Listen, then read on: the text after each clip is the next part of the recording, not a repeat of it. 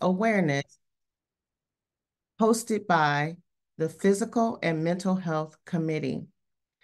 My name is Dr. Dela Morris, and I am the chapter president of the Vallejo Alumnae Chapter. I'd like to welcome you all to tonight's conversation. This will be a first in many discussions on intimate partner violence awareness.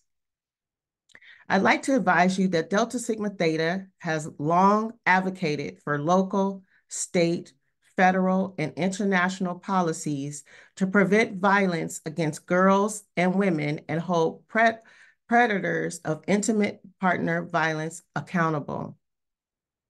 Delta chapters, along with Vallejo Alumnae Chapter, will continue to advocate for the passage of laws designed to address violence against women and girls.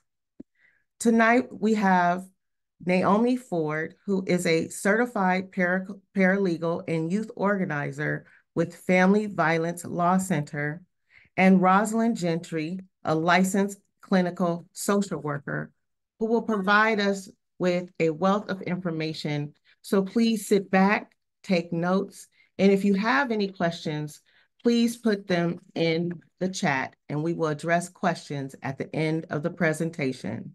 With that, I'd like to turn it over to Naomi Ford. Thank you.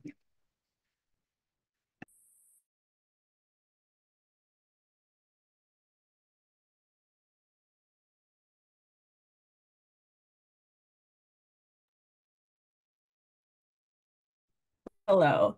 Um, so I'm going to give an overview um, of intimate partner violence and gender-based violence. Um, so I want to start by giving a content warning. Um, some content in this presentation um, may be emotionally challenging as we're talking about violence. So I just want to give a blanket statement and let everyone know um, to take care of themselves and make sure we're also prioritizing our mental health and if you need to drop off the call, that's totally um, understandable. Um, so we'll just jump right into it. Um, this is the agenda. We'll do defining abuse, how to support loved ones in harmful relationships, um, what you can do to end gender-based violence. So to start, what is intimate partner violence? Um, so it's a pattern of abusive behavior used by one partner to gain or maintain power and control over the other. So this can be physical, verbal, emotional, sexual, and digital abuse. Um, and it's also known as sometimes as domestic violence.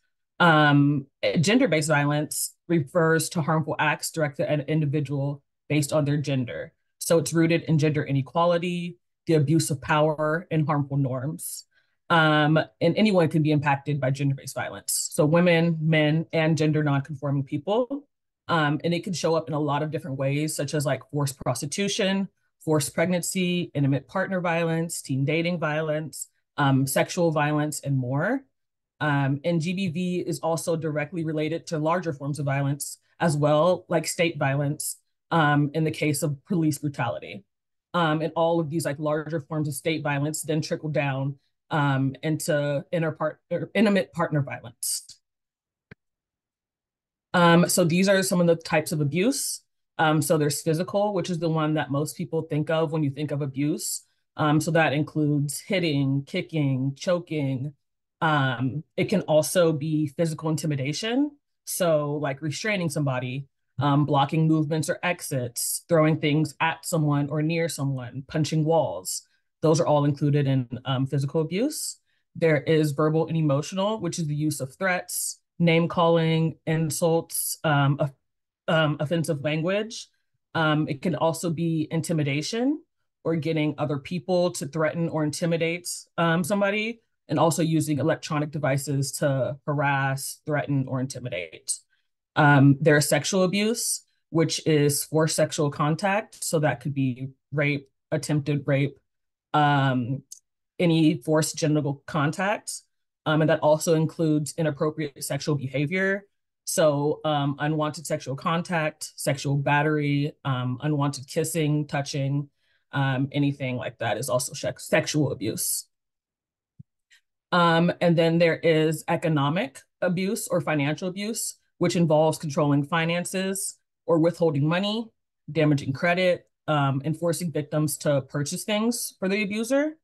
There is digital abuse, which is something that is um, obviously becoming more prevalent um, with the internet age and like how things are developing. So that includes non-consensual image sharing, which is sharing someone's images without their consent. Um, it also be made like it also be made referred to as um, revenge porn. Um, and then there's cyberbullying, which is using technology to harass, embarrass, threaten another person. There's sexual harassment, um, which obviously is included in sexual abuse, but also like digital if it's online. Um, so any unwanted sexual comments, messages, um, any attention like that. And then sextortion, which is um, a form of blackmail where someone threatens to share a nude or sexual image or video of you unless you give in to their demands. Um, so digital is one that is on the rise and that's happening um, pretty often right now. Um, and then there's mental and psychological abuse, which is when an abuser tries to distort their victim's sense of reality. Um, so that also includes convincing victims that they're crazy or incompetent or like distorting facts to purposely try to undermine somebody. Um, also, like gaslighting, that's a word that people are using a lot now, and that's a form of mental and psychological abuse. Um, and this is the cycle of harm, the cycle of abuse. Um, so this cycle is not necessarily, you don't necessarily always hit every single point on this cycle. Um, you might switch between a few of these things, but essentially the tension builds. So stress begins to grow in the relationship from points of conflict, daily life, things like that. The abusive incident occurs, and it could be any of those types of abuse that I just listed. Um, then it's the honeymoon phase where the abuser apologizes, shows remorse, begs for forgiveness. Um, and then there's the calm. Um, and so the abuser may continue to act for, ask for forgiveness and make positive gestures. Um, but then over time, those start to reduce in sincerity. Um, and then it goes back to the tension builds. But like I said, it's not always the cycle of abuse is not always all of these points. Like sometimes it's just tension builds, abusive incident, tension builds, abusive incident, you know, and that never gets to the honeymoon or phase or the calm. Um, but partner abuse is a systematic pattern of behaviors, right? So it's something that's constantly happening um, and it's non-consensual. So it's somebody using their power, which could be either power in the relationship or social power to try to control like the thoughts, feelings, beliefs of somebody else. Um, so in the cycle of harm, like obviously both the harm doer or the abuser and the person experiencing harm or the survivor are both going through their own versions of this cycle. Um, and on average, it takes survivors up to seven times, seven attempts before they're able to leave um, a harmful relationship or abusive relationship or the cycle of abuse. Um, so that could be seven abusive incidents before someone um, is able to leave. And in order to leave, it takes a lot of community supports um, and it takes a lot of attempts. And so leaving the cycle is not a destination, but um, it's a process that happens over time. So these are an examples of some warning signs um, that you might see if someone is experiencing harm in an abusive relationship. So if they're worried about upsetting their partner, if they make excuses for their partner's harmful behavior, um, they're taking blame for things that are not theirs to have blame for, um, their mood is changing, their partner is possessive or jealous, um, they might be experiencing threats from their partner. Maybe their partner's calling them like a million times in a row. Um, they have like evidence of bruises and scars and scratches that they're trying to cover up. Um, like the partner may threaten to harm them. You might even see like something, right? So these are some of the warning signs um, to be on the lookout for if you think that someone is in a harmful relationship. And then these are some warning signs on the flip side if you think someone may be causing harm in their relationship, right? So um, they may be moody and have emotional outbursts. Um, unwilling to hear any criticism or feedback or take accountability for any of their actions. Um, they might downplay their partner's feelings. Um, maybe you hear them say unkind things about their partner a lot. Um, you might hear them putting their partner down.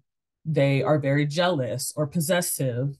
Um, they're super controlling. They think that um, they decide how their partner acts or looks or behaves. Um, so those are things to like look out for and be mindful for um, for someone who might be someone who could cause harm in a relationship. Um, and then we have how to support loved ones. So some of the things that are important are reaching out first. Um, a lot of people in abusive relationships are feel fearful to reach out um, because of judgment, um, embarrassment, the stigma around being in a harmful relationship. So it's important to reach out first, um, to listen patiently and acknowledge the person's feelings. So maybe they're saying, "Oh, I love them. I really want to be with them." Um, so to acknowledge that, okay, yes, you you maybe you do love them, right? And not telling them what to do and allowing them to make their own decisions, which can be really hard when someone who we love and care about is in a harmful relationship. It can be hard to tell to like not tell them you deserve better. This is what you should do. Um, but it is much more helpful to be open minded and not non judgmental in approaching those conversations. Um, you can connect your friend to community resources, which we'll have listed um, in this presentation, um, encouraging them to participate in activities outside of the relationship.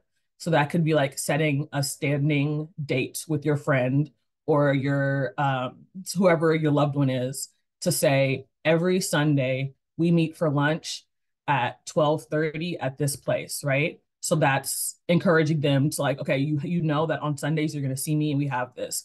You know that on Wednesdays we walk around the lake. You know that on Tuesdays we're um, going to a workout class. So like encouraging them to participate in other activities. Um, and like having that schedule is also really helpful for people who are stuck in that cycle um, and then helping them develop a safety plan. So a safety plan is about brainstorming ways to stay safe um, and the ways that also might redu- reduce future harm. Um, so that can look like for someone in a harmful relationship, that can look like where can you go after an abusive incident?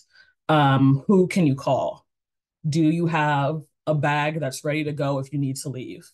Um, do you know where all your important documents are in case you do decide to leave? Um, is your location turned off on your phone um, if you leave? Like things like that. Um, do you know where your keys are? Do you have a way to get out of your house if you need to? Do you have a ride here? Like making sure that all those steps are in place um, to let them know that if they do decide to leave, here is a plan and here is what I can do to support you. And even if they don't, if there is another abusive incident, like these are things that you can do to try to reduce the harm um, and to try to keep yourself safe in future incidents. Um, some of these are some things that are not helpful to say when helping a friend.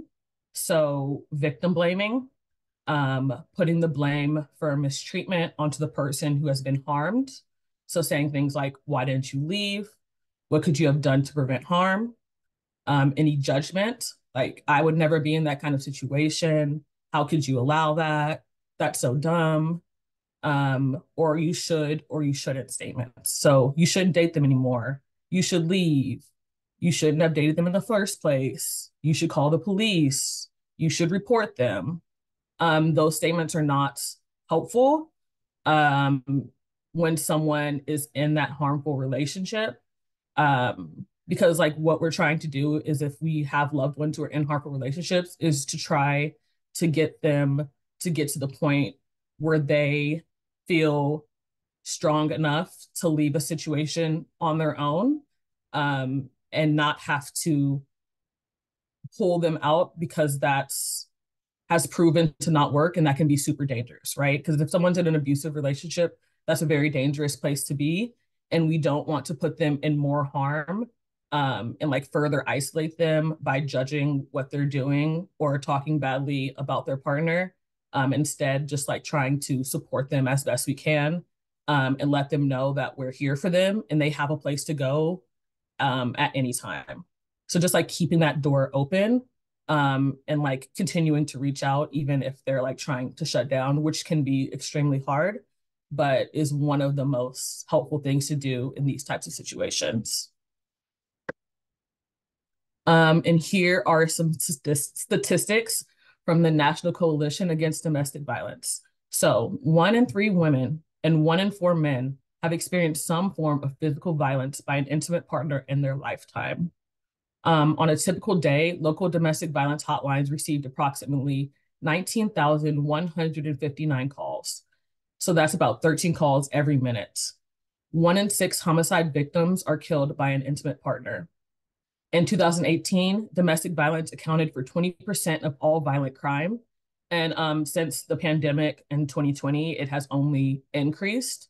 Um, at the time of the pandemic, when we were like in lockdown and things like that, that was a really um, hard time for a lot of people who were in harmful relationships because um, a lot of people lost their jobs. And so that's increased the rates of domestic violence um, at that time. Uh, victims also can experience mental health problems such as depression, post traumatic stress disorder, um, and can engage in risky behaviors such as smoking, binge drinking, and sexual risky behaviors. Um, IPV can also result in injury or death. So victims and, or survivors face negative health outcomes such as conditions affecting their heart, reproductive system, nervous systems um, that can have long-term effects. So ending gender-based violence. The need to end the need to end gender-based violence has never been more urgent. Um, California's governor, Governor Newsom, and legislator failed to invest in critical domestic and sexual violence prevention programs and services. Um, amidst disturbing rises in violence, when those in power fail to address and invest in solutions to gender-based violence, they are shrugging their shoulders at the 188% increase in domestic violence report agencies like the Family Violence Law Center have seen in just one year. Targeting both prevention and intervention across the lifespan is crucial to seeing any discernible improvement in the safety and health of our communities. However, we need funding to achieve this. 15 million ongoing investment in domestic and sexual violence that Governor Newsom rejected this year. We need our state and local elected officials, stakeholders, and decision makers to once and for all memorialize the importance of gender-based violence prevention and intervention work in their budgets. Because at the end of the day, if a budget is our moral document, what do we want it to reflect about our shared commitment to survivors, their families, and communities?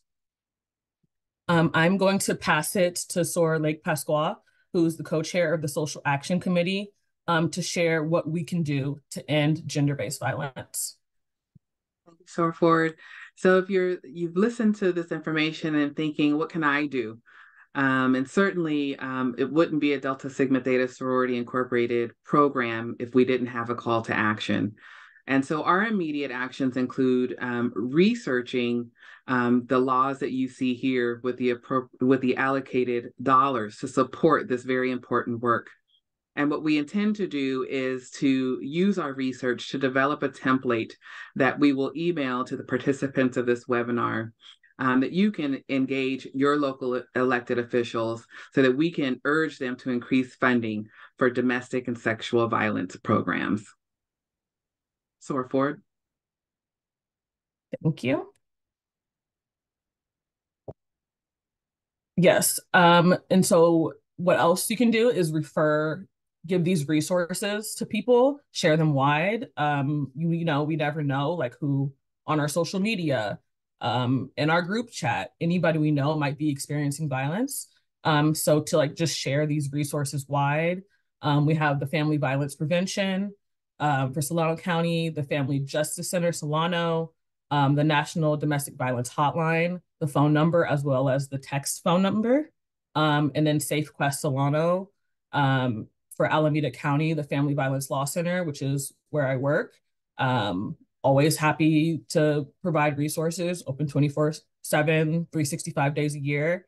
Um, yes, so those are the resources. Um, and that is it for me. So if I may, if I may, um, if we can go back to the slide with the resources. Yes. I'd want I just want to add and suggest that um, the participants of the webinar take note of the resources available because not only are these resources that you can use to refer to loved ones, these are resources that you as a concerned friend or family member can use for yourself as well. Uh, we've gone over a number of different ways and t- tidbits of information on things that you can do and you can that are harmful to do, but you may not retain it all. Um, you can access one of these resources for information on how you can help in your specific situation. So I just wanted to highlight the fact that these resources are useful not only to victims, but to people who are trying to support victims as well. Thank you so much, um, Rosalind. And Naomi, thank you for an informative session on intimate partner violence.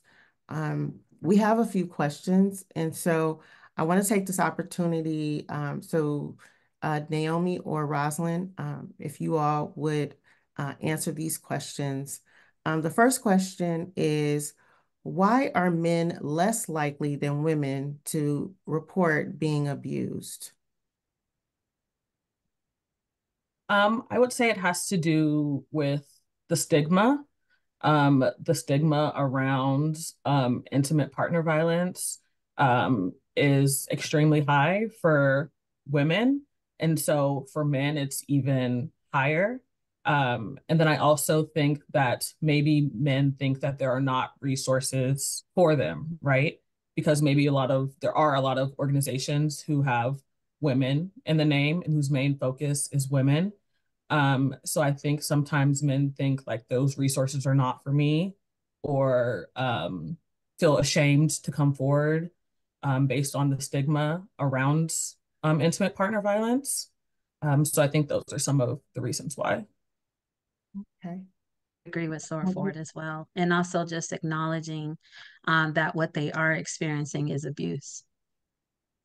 Okay.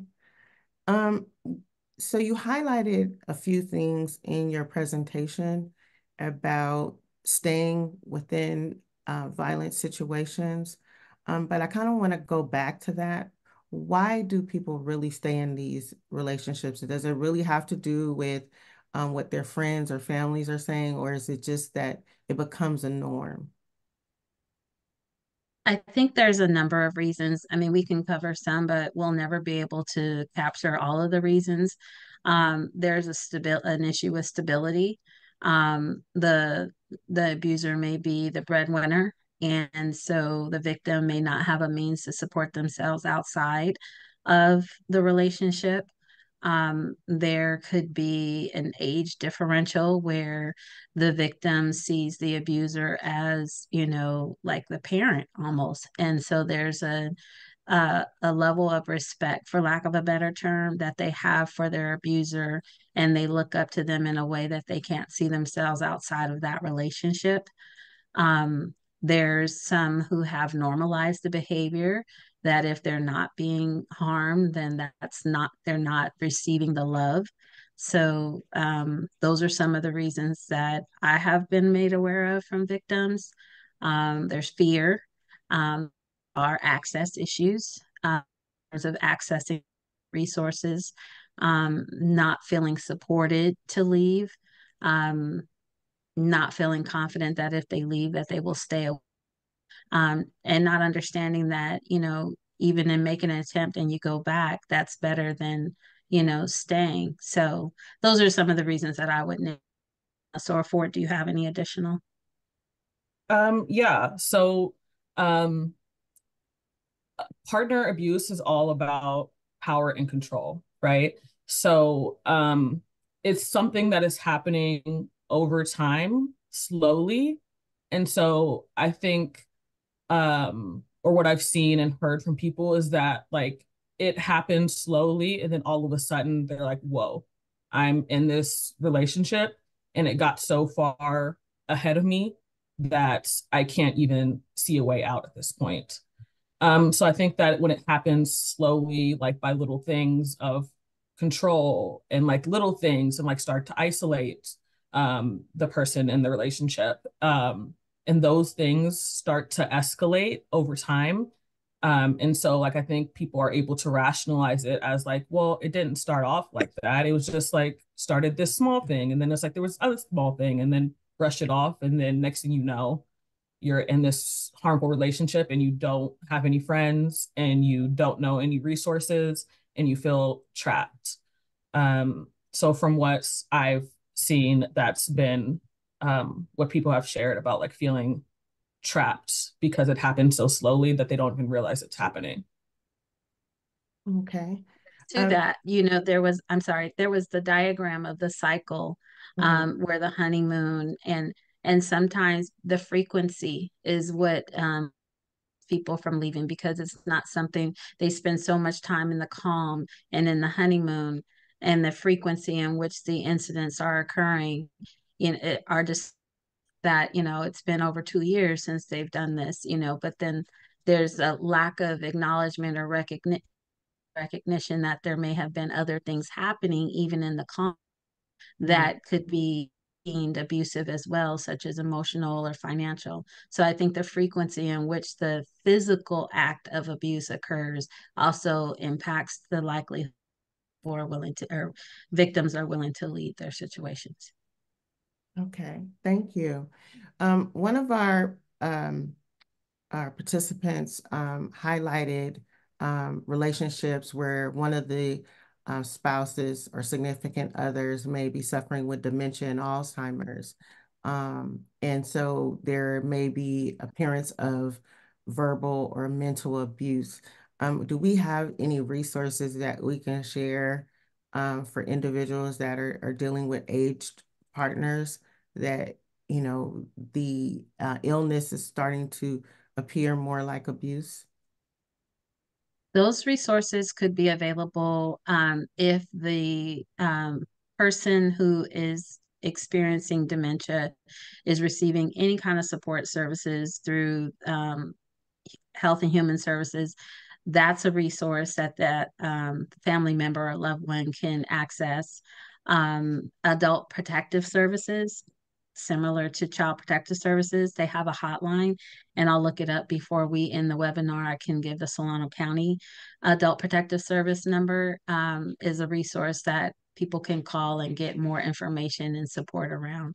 Um, they there's some interventions that can be put into place to support, you know, the person experiencing dementia and the one that's trying to support them. Okay, thank you. Um, so the next question is around resources for trans and LGBTQIA um, individuals and how they may find resources available um, to deal with IPV. Do we have specific resources or guidance for them? Um, I don't know if I have any specific resources. Um, I know that like in Oakland specifically, um, there's like a lot of LGBTQ centers that provide resources. I'm not exactly sure for Solano County, but I could look into that.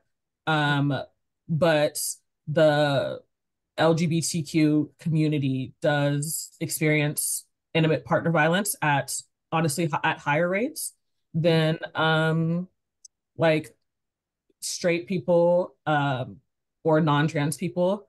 Um, because of I think it's and people don't acknowledge it because I think there's just so many um layered things. And there's also so many different types of harm that affect like queer and trans people specifically um like in the form of like dead naming um outing people things like that. Um so I would have to look specifically for more like exact resources on um, intimate partner violence specifically, but I do think, um, not I do think, a lot of these other organizations provide resources to everyone. Um, and a lot of these organizations are like working really hard to try to be more comprehensive.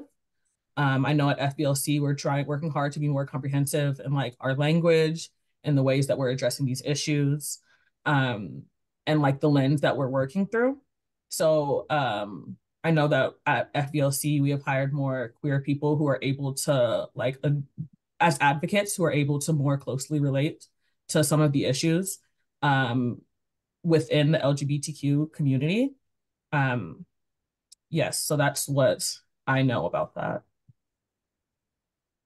And I would say the same. Uh, the resources that have been provided um, is the there's a lot of diversity in who are who our victims are um, accessing resources and services. You know, the different agencies are also recruiting representatives from each group to provide that support, but it's under the same umbrella of services. Okay, thank you. So, what are some of the abusive behaviors that may appear to be more lethal? Um, choking is something that um, leads to homicide more often um, in physical behaviors. Um, stalking is something that is also um, a behavior to really be aware and mindful of if that is happening. Um, so those are the two that, from what we've seen, um, are the ones. And also, like if the per if the abuser has access to weapons, um, to guns, so that like calls on to like gun control, and like that's a whole different topic. But um, that is also another form. Uh, if the abuser has access to weapons, those situations tend to be more lethal as well. Okay. Um, then our last question for the evening, how does drug abuse and alcoholism affect intimate partner violence? Uh, it can play a pretty key role um, because uh, it's a mood altering, you know, substance that's being consumed and the abuser then has you know can use that as a scapegoat as to their behaviors and the different actions um, and then there are often times where abusers only commit that physical violent act while under the influence um, and if they're not seeking treatment and you know um, has a habitual substance abuse problem then the prevalence of physical violence and abuse is higher Okay. Thank you. So again, I'd like to thank Naomi Ford for this very comprehensive presentation, uh, Rosalind Gentry, and to all of our members of the physical and mental health. Thank you so much for this first discussion on Crimson Conversations. It was very informative. I have so many more questions, um, but I know we're limited on time. To our social action com uh, committee, thank you so much for providing that social action component. Um, before we let you all go, we would like for you to um, complete this out evaluation. You can scan the QR code and your the evaluation form will come up for you. Um, when we get into 2024, we will continue this conversation. Um, obviously, you won't necessarily hear what you heard tonight. However, it is recorded and we will be adding it not only to our website, but to our YouTube channel. So we encourage you to continue to follow Vallejo Alumnae Chapter. You can find us on Instagram as well as Facebook.